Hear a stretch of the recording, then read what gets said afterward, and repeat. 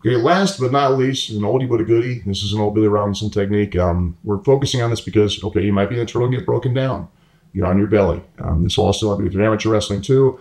And if you don't want to go to your back and play a guard game, nobody said you had to. Um, nothing wrong with that. I might go to my back and do that. We're all hybrids. You know, I, my, I use, I love using half guards and different guards all the time. Nothing wrong with that. But I want you guys to be able to have as many choices of what you want to pull from this as possible. So we're not going to go through a breakdown. We've done breakdowns on the volume one. We've done tilts, turns like crazy. If I'm just broken down on my belly, okay, and I'm down here, first of all, I'm protecting my neck like this as best I can, but I can't stay there forever. So there I'm going across cross body. So it's not, there's no cross body ride. It's, say a cross ride. He's just cross side. So it's not a side control. It's not quite the same thing. I need to start moving.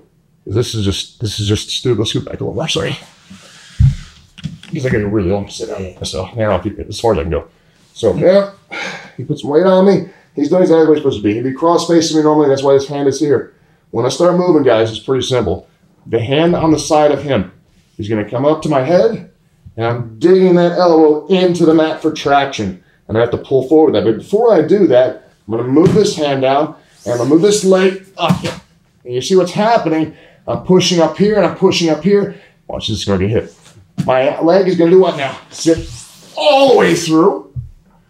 And I'm to keep turning, keep turning, keep turning.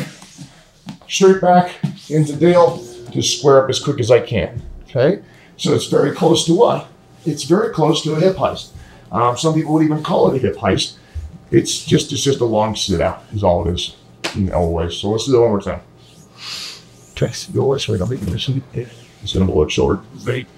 Okay, again, I'm down here. I don't want to be here. He's gonna turn me over. I'm already broken.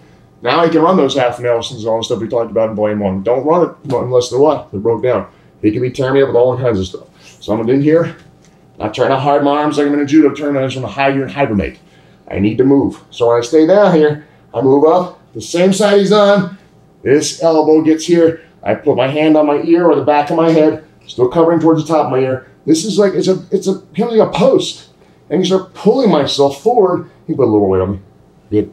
When I move now, my hips are going to turn so I can step. Okay, and this hand helps too, but I'm going to pull with the elbow and push through for a long sit out, leaning back, turn over quick, and square up with Dale as fast as I can.